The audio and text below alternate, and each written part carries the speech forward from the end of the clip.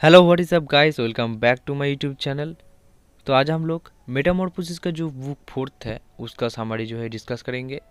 Day with facts नाम के भाई ने इसका बहुत रिक्वेस्ट किया था तो ये एक रिक्वेस्टेड वीडियो है। मेटामॉर्फोसिस बुक फोर्थ का जो स्टोरी है, वो स्टार्ट करने से पहले कुछ चीज़ जो है क्लियर कर देना ज़रूरी है। बुक फोर्थ का जो स्टोरी है, वो बुक थर्ड का स्टोरी से रिलेटेड है। एक्चुअली बुक थर्ड में बैकस का जो स्टोरी है वो शुरू हुआ था। लेकिन उसका ख़त्म जो है मतलब कॉन्टीन्यूसली बुक फोर्थ में पाया गया है। तो अगर आपने बुक थर्ड नहीं पढ़ा है तो बुक फोर्थ पढ़ने में बहुत दिक्कत आ सकती है। मैंने बुक थर्ड का जो समरी है, वो भी मेरे चैनल में दिया हुआ है। मैं डिस्क्रिप्शन में लिंक दे दूँगा, वहाँ से देख लेना। बुक फोर्थ में जिस चीज़ को लेकर सबसे ज़्यादा दिक्कत आती है, वो है इसके कैरेक्टर्स इसमें बहुत सारे कैरेक्टर्स है। तो पहले हम लोग जो कैरेक्टर्स है उसके बारे में थोड़ा डिस्कस करेंगे, उसके बाद जो स्टोरी है वो स्टार्ट करेंगे। तो चलिए देख लेते हैं इसका कैरेक्टर्स तो पहला कैरेक्टर आता है मिनिया। मिनिया कौन है? किंग ऑफ़ उर्चिमेनस इसका जो, इसका तीन बेटी है लियोसिपे एल्सिथोई लियोकोने ये तीनों गॉड बैकस को नहीं मानते हैं क्योंकि ये लोग मीनारभा को मानते हैं, इसीलिए। उसके बाद आता है पिरामस पिरामस है थिसबे लाभर। पिरामस ने क्या किया था? वो सोचा था कि थिसबे मर चुके हैं, इसलिए वो सुइसाइड कमिट किया था। उसके बाद है थिसबे। थिसबे है Pyramus's lover. Apollo, god of sun, आप सभी को पता है। भेनस कौन है? भेनस, गॉडेस ऑफ़ लव और भेनस जो है, उसके साथ मार्स का इलेजिमेट रिलेशनशिप था, जिसे एक बच्चा पैदा हुआ था। उसका नाम है क्यूपिड, जो कि गॉड ऑफ़ लव है। ठीक है? मार्स के बारे में मैंने बोला। भूलकन कौन है? भूलकन है हस्बैंड ऑफ़ भेनस। मतलब क्या है? भेनस जो है मार्स के साथ इलिजिमेट रिलेशनशिप था उसका हस्बैंड है फिर भी। उसका हस्बैंड है वल्कन ठीक है, उसके बाद आता है ल्यूकोथोई ल्यूकोथोई कौन है?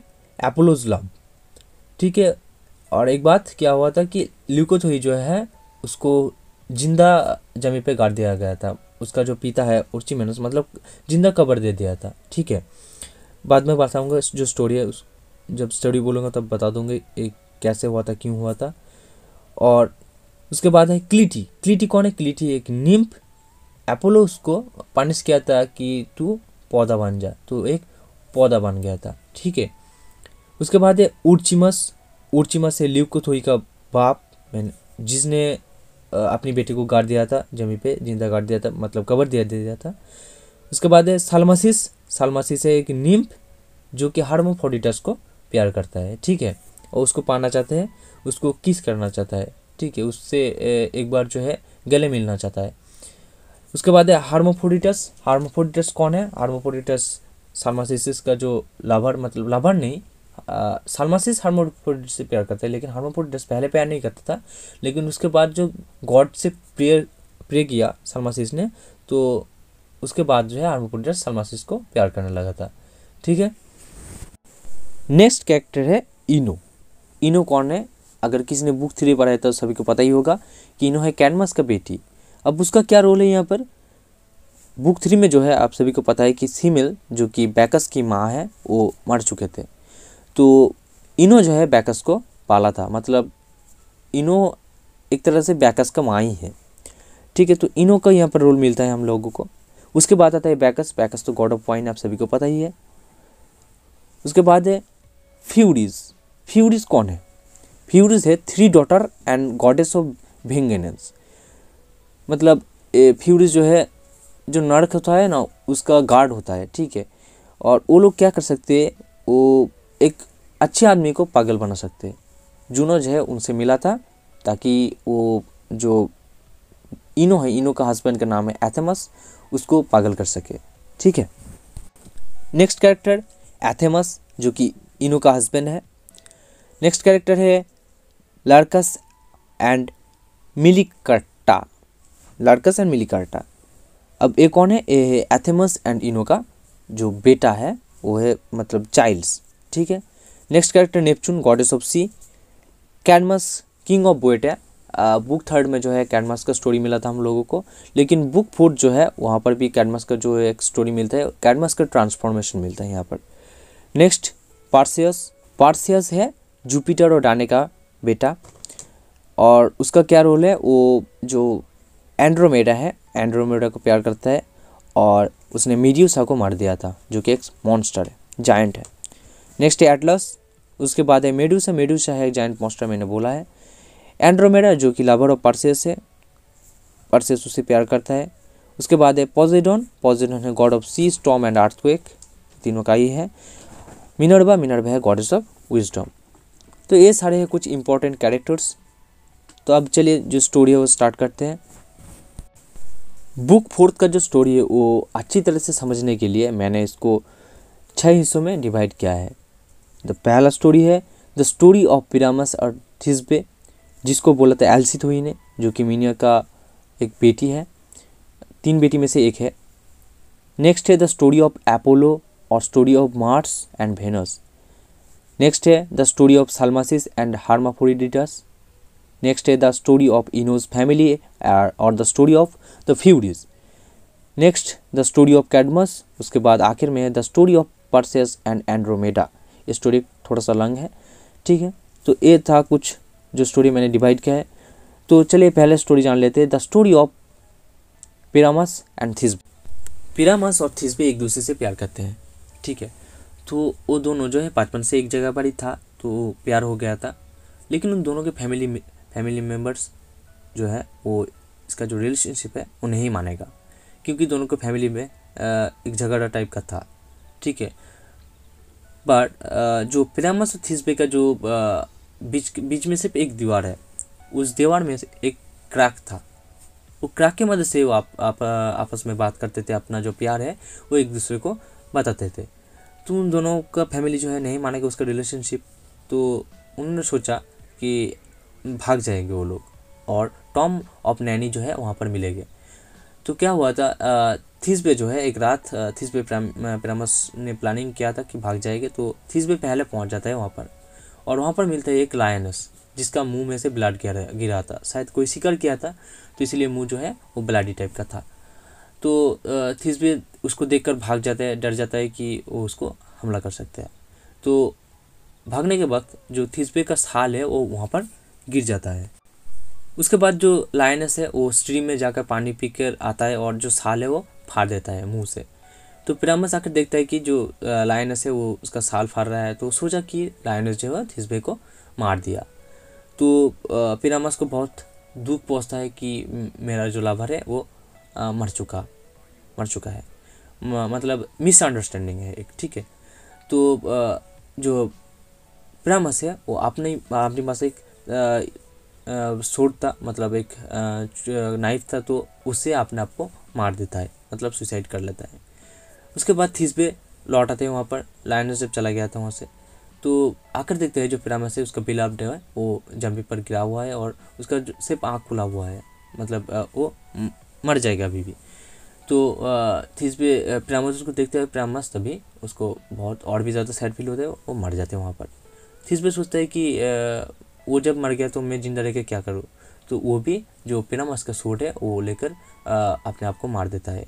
उस, मारने से पहले वो गॉड से प्रे किया था कि हम दोनों को एक ही जगह पर कवर मतलब एक एक जगह पर ही कवर हो।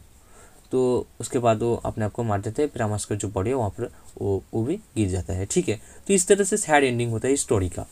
सो आप बताइए सेकेंड स्टोरी सेकेंड स्टोरी क्या है? सेकेंड स्टोरी है द स्टोरी ऑफ़ एप्पलो और story of Mars and Venus तो क्या हुआ था? एप्पलो जो है सान गॉड है, वो सब कुछ देख सकता है। मतलब सबसे पहले आसमान में जाता है, सब कुछ देख सकते हैं वो।